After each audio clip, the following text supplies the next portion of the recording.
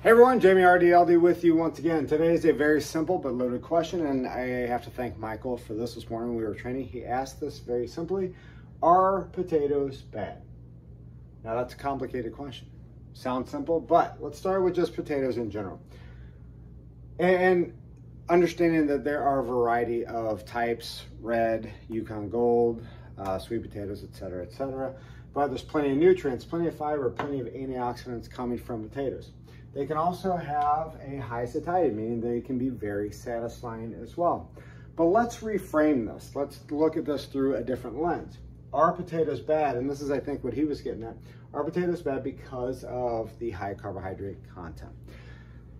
Let me reiterate a few points I made in previous videos. Carbohydrates, or in this case potatoes, will not foster weight gain unless they are putting you into a caloric surplus. Just like, let's take avocados, very high fat. Right now, with ketogenic diets, etc., fat is looked as good, carbohydrates are looked on looked upon as bad. But even if, even if the superfood, supposedly superfood avocado, which I love, puts me into a caloric surplus because of the fat content, well, that's not gonna help me lose weight either. That's gonna make me gain weight. So no matter if you are taking in more carbs than fat or more fat than carbs, if you're having too much of anything, and that's putting you into a caloric surplus, you're not gonna lose weight.